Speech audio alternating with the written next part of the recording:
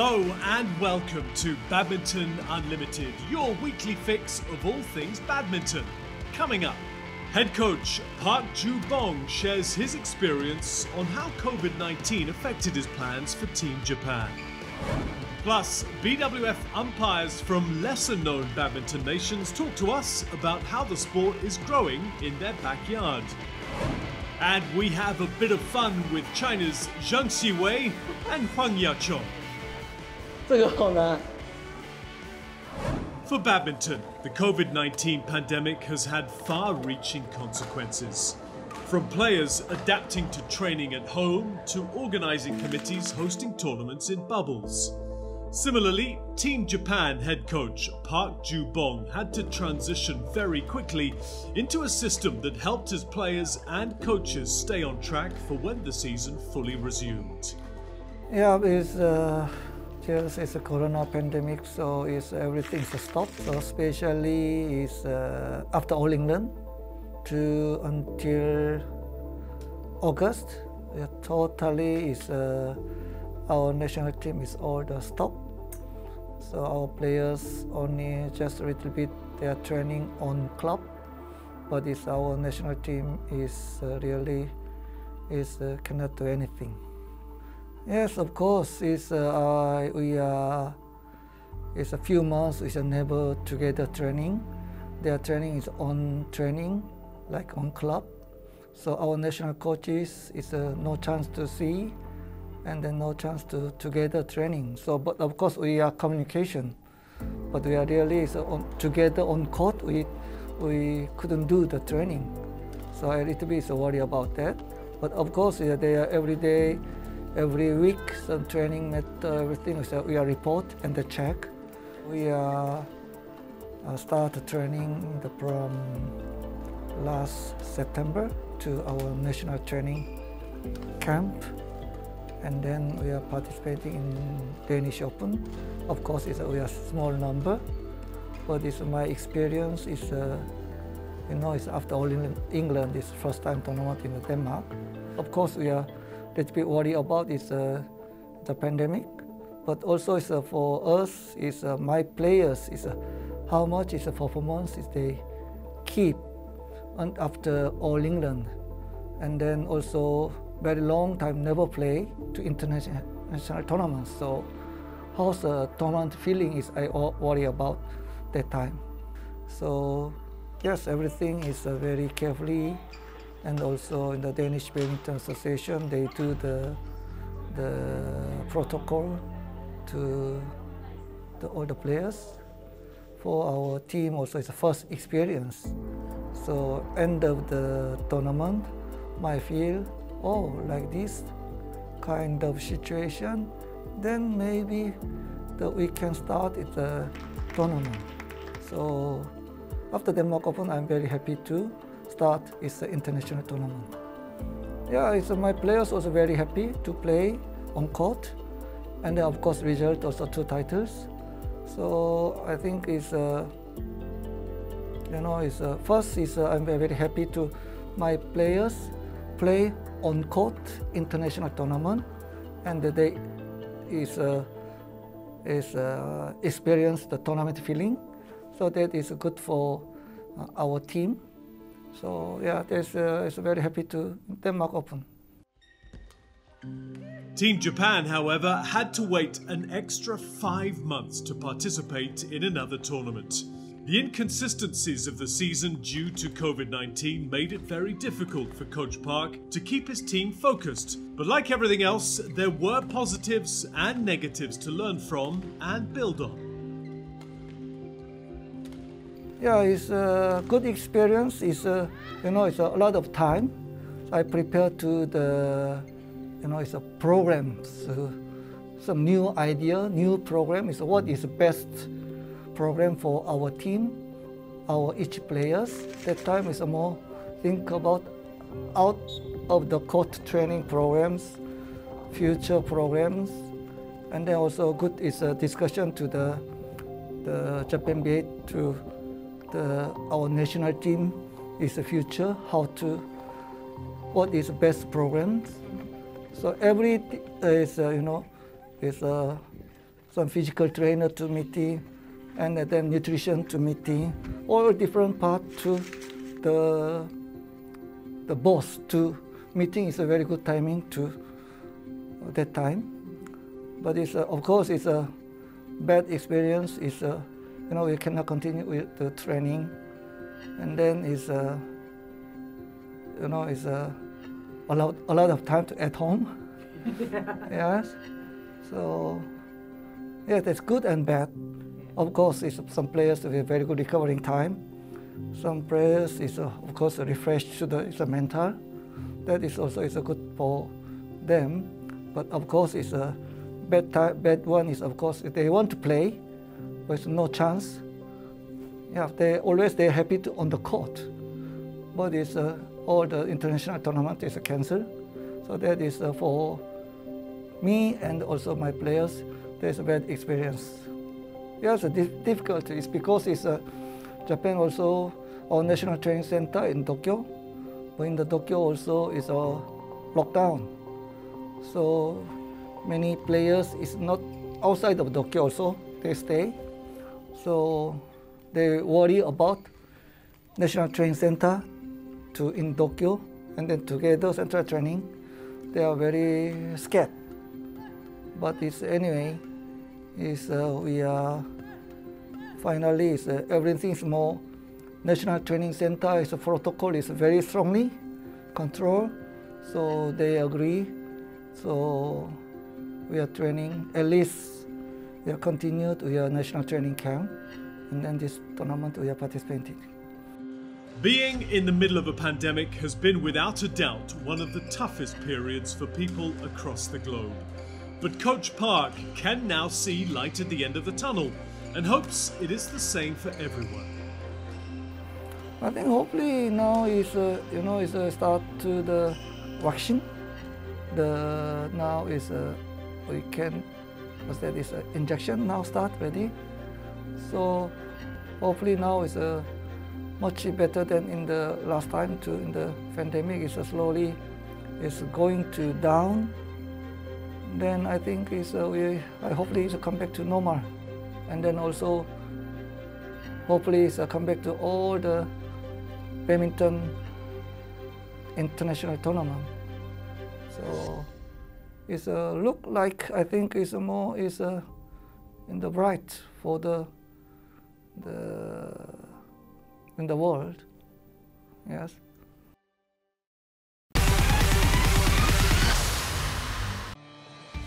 I enjoy the, the, the badminton family in general because in badminton, unlike any other sports, there is no it's no like racism. Uh, I, something that I really enjoy about badminton. We love each other. Whenever you pass, people love you, so it's so nice. It's undeniable. Badminton's appeal is truly global. At the Asian leg in Bangkok, we got up close with the umpires from Botswana and Iran to find out how the sport of racket and shuttlecock is shaping up in their countries you can find in the each car two racket and one bottle of the shuttle. More than 80% play badminton and like the badminton, but not for professional in the court and in the hall and the, for the championship and in.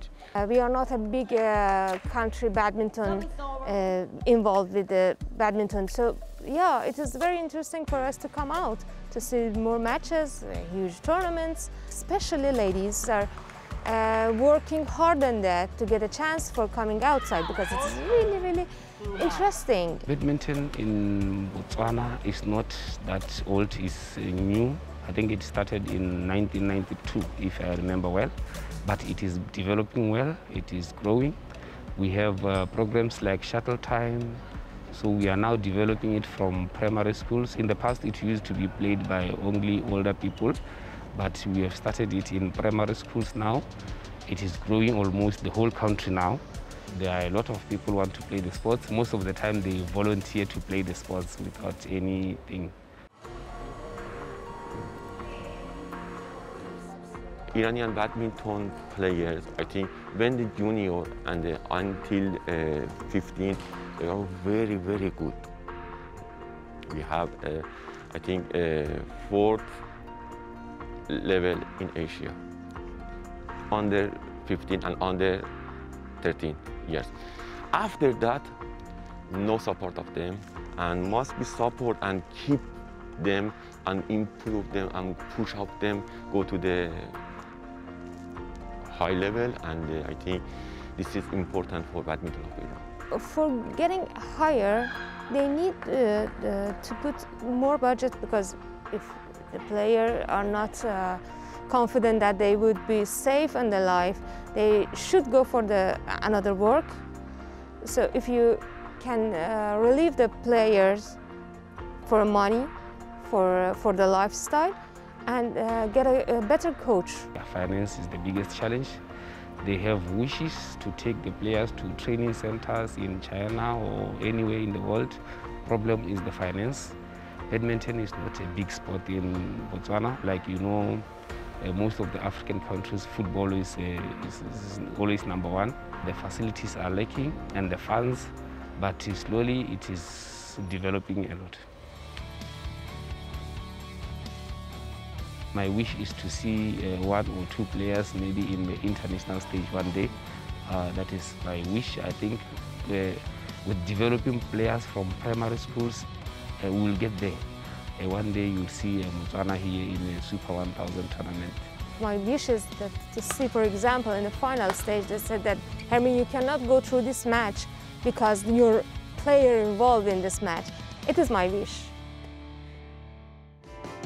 It's time for a quick breather, but stay with us for some epic action on the courts of Birmingham, featuring the one and only Zheng Siwei and Huang Yaqiong. And speaking of mixed doubles pairings, we catch up with India's Satwik Sairaj Rankireddy and Ashwini Ponnappa. Initially when I started, I'm very scared.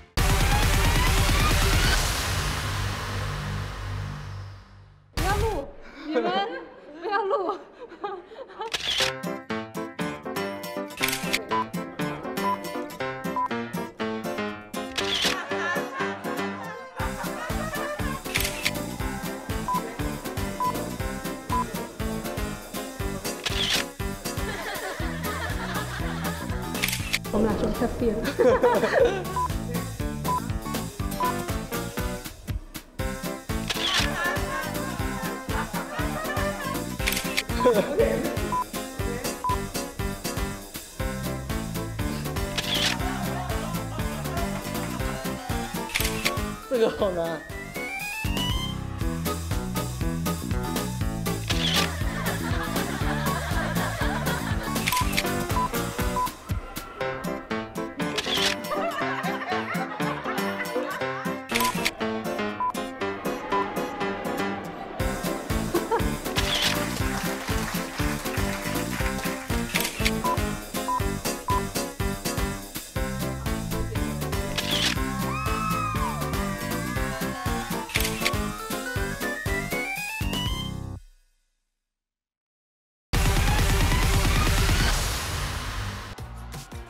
Been more than a year since the popular and bubbly Zheng Siwei and Huang Yaqiong competed internationally.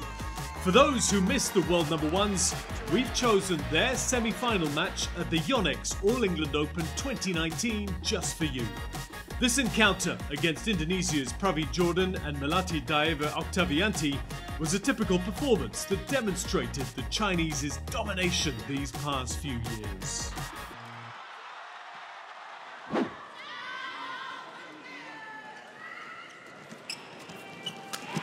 Yeah, well taken by Octavianti.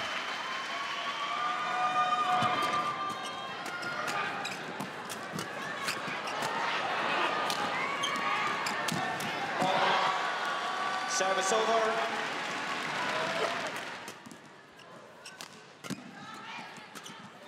Yeah, she is playing well. They're both playing exceptionally well.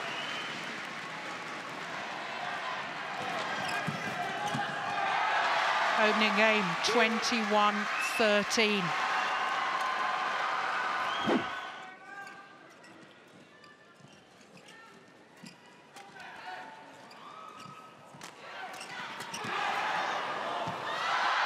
Oh, the lucky net cord.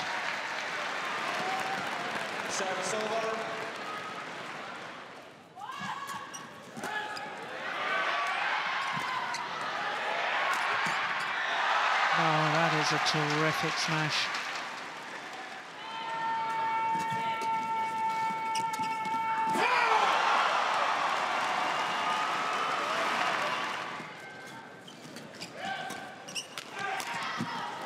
Ah, that's good play. Service over.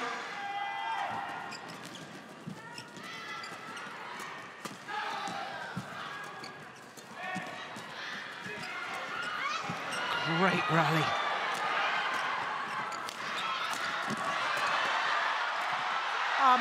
Unbelievable. Terrific pace, terrific defence, fast attack.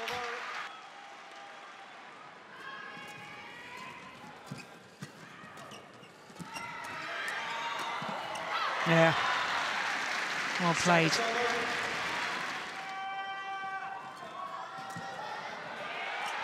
Brilliant. What a magnificent disguise drop shot. And it brings up three match point opportunities. Match point 17. Oh, two errors from Octavianti.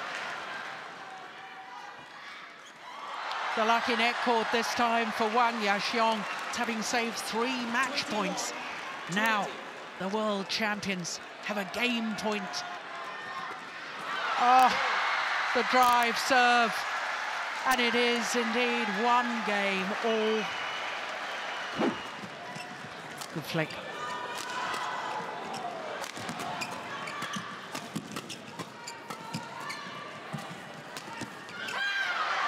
Yeah, his form is definitely getting better and better.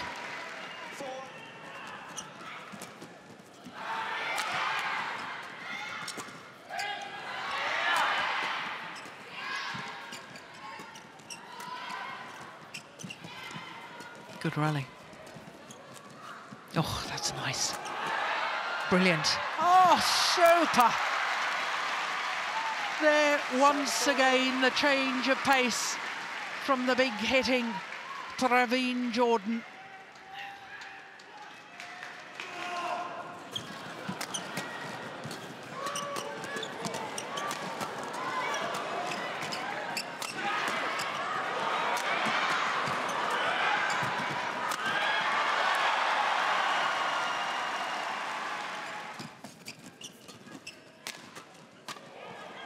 Oh, that's lovely. And a nice block. Great defence. Yeah, well done, Zheng Siwei. And this defensive shot whipped across court. Changed everything.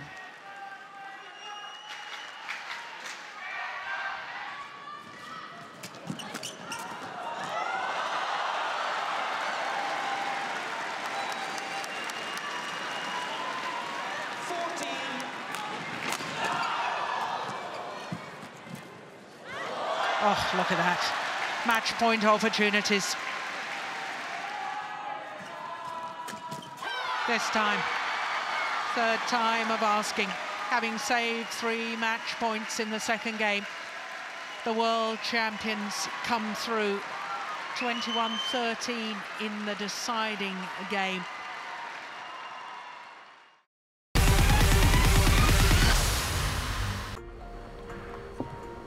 It's been tough for us, tough year for us 2020, so we didn't play pretty good. We played only two tournaments in the starting, so then I had injured, then I didn't play full long year.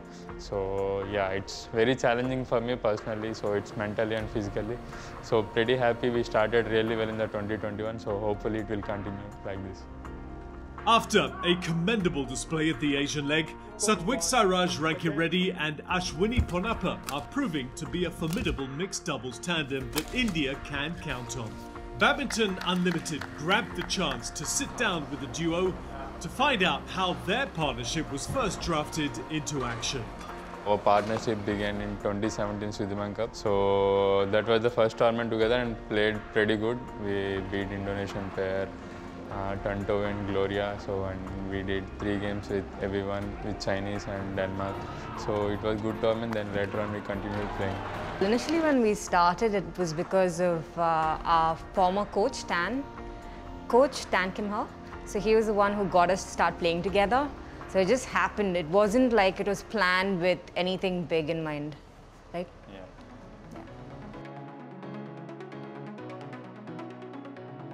I like the fact that we could rotate and I'm not like a conventional mixed doubles player. So I'm not someone who rushes to the net a lot. And playing with Satwik was uh, easy because he would move in and plus he's got a gigantic smash. So it made things a lot easier. I didn't have to worry about, oh, I have to go back and look after the back half of the court like I did in the past. I'm not uh, comfortable in talking with her on court. Initially when I started, I'm very scared like what she will think oh, if I say I'm very junior to her. uh, so then later on in game, like coach said, it's when you're a game you have to speak it out. It's not about senior junior.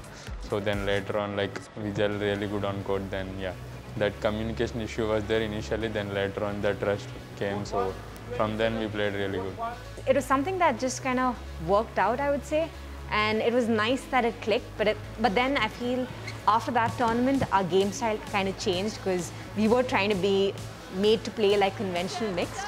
And playing conventional mixed, I was getting a bit confused.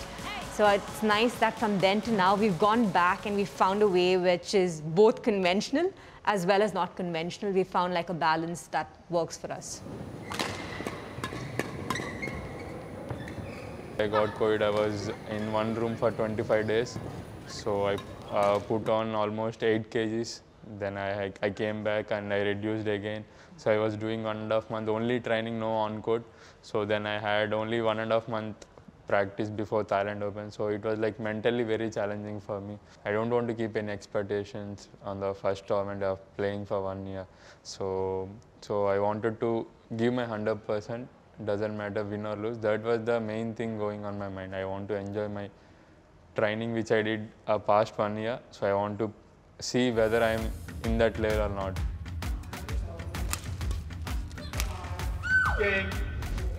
There it is, another squeal of delight for Ashwini Ponnappa and a gracious uh, celebration from Rankireddy as well. They got there in the end. I was happy with the first match that we played because uh, I was like, wow, we are playing really well. That means we are there. I mean, despite the fact that we haven't trained together, we've beaten a good pair, we have a good chance. So that was very motivating and very, uh, it was a confidence booster. By the end of the first tournament, I was raring to go for the second tournament because it's like, at the end of the day, having a tournament under these circumstances is incredible. So for me, I was like, okay, one tournament's done, we have another tournament, another chance, so let's go and try and get it better this time. I feel like in this tournament, we've been the most consistent we've ever been compared to like in the past. So in that sense, it is it has been a win for us because consistency levels have been way better. But uh, at the crucial moment when it was really needed, I think that's an area where more than the game, it's also like our mind needs to be calmer. We need to be like, and not let little things get to us because it can get to you, especially at that moment when it's really crucial. Oh, that's a super shot from Taerattanachai. No, oh, my goodness. Yeah. It's, it's funny when you're playing a match, little things can just slip away. And especially when you are like after something and you get distracted by a mistake or two, that, that's all it takes for the game to turn around.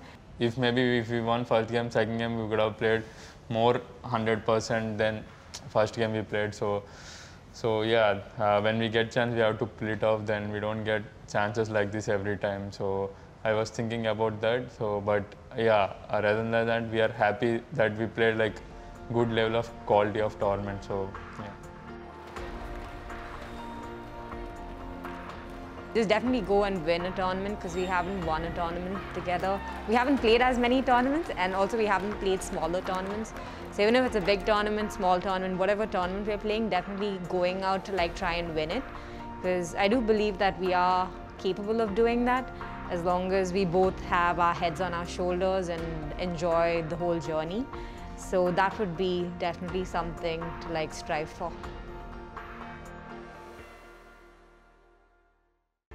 We've reached the end of today's show, but join us next week for a highly anticipated special on Japan's Yuki Fukushima and Sayaka Hirota. マイペースなところ She's having to think about it. 喜怒哀楽がはっきりしてるところ Meanwhile, do visit BWF's official website, bwfbadminton.com, for the latest in the sport. It's goodbye for now, take care, and we'll see you soon.